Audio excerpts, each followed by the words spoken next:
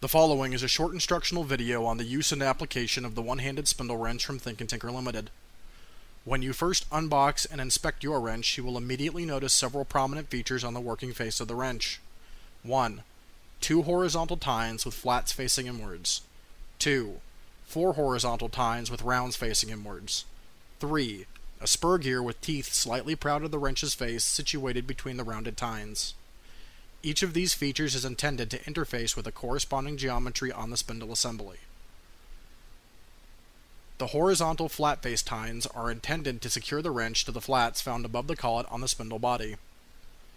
The two rounded sets of tines interface with the spindle body just above the collet nut and around the body of the collet nut itself. The rounded tines serve to align the wrench properly with the collet assembly. This brings the spur gear positioned in the body of the wrench into alignment and positive engagement with the spur teeth machined into the collet nut. The combination of these features should allow the wrench to be fully retained in the spindle collet assembly without any additional support, and provide stability for the application of proper torque to the collet nut via the wrench.